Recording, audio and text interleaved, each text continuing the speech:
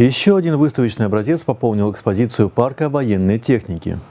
Свое место занял плавающий танк. Т-76 прибыл из станицы Кущевской.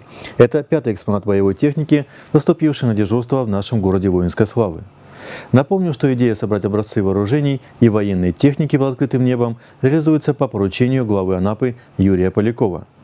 Самолет Су-27, бронетранспортер БТР-70, 85-мм и корабельные пушки ранее уже заняли свои места на постаментах.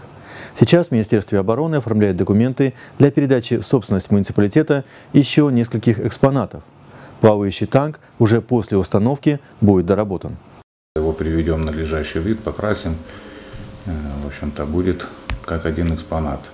Но на самом деле у нас э, распоряжение главы до апреля месяца работать э, в направлении пополнения аллеи воинской славы, э, музея, скажем так, военной техники под открытым небом. Я думаю, что у нас еще появятся там два танка, это Т-34 Т-80, это десантный катер и вертолет Ми-8 и вертолет Черная акула. Поэтому я думаю, что будет достойнейший у нас на территории муниципалитета э, парк военной техники под открытым небом.